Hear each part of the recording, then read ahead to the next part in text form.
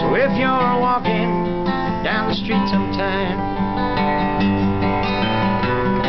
you spot a pair of hollow ancient eyes. Please just don't pass them by and stare as if you didn't care. Say hello in there. Hello.